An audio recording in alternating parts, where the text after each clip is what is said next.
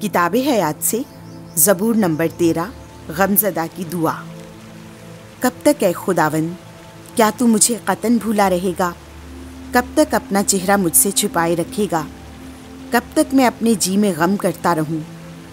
अपने दिल में रोज़मर्रा रंज किया करूँ? कब तक मेरा दुश्मन मुझ पर सर बुलंद रहेगा? ए खुदावन मेरे खुदा, तवज्जा कर और मेरी सुन ले। मेरी आँखें रोशन कर दे। ऐसा ना हो कि मैं मौत की नींद सो जाऊँ। ऐसा ना हो कि मेरा दुश्मन कहे कि मैं इस पर गालिब आ गया हूँ।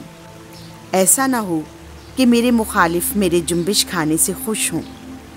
लेकिन मैंने तेरी रहमत पर तवक्ल किया है। मेरा दिल तेरी निजात से खुश होगा।